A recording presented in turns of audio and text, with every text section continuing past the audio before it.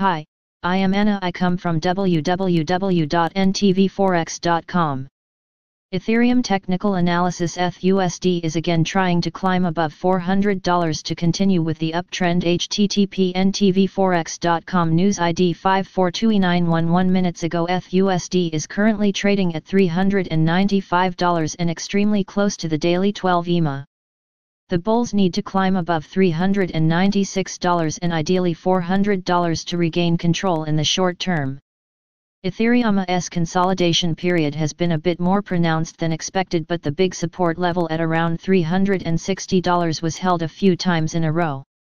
NBSP USD daily chart The daily uptrend remains intact because $360 has been holding quite well. Bulls are currently trying to climb above the daily 12 EMA at $396 and eyeing up $400 again.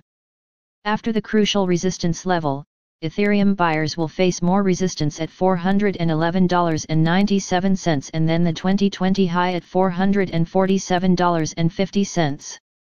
Either way, the long term is still heavily in favor of the bulls and a daily downtrend will not really mean much.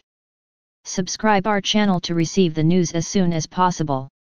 Thank you for watching. If you want to read real-time news, text messages to MT5 Expert Advisors page at https m.me mt5.expert.advisors.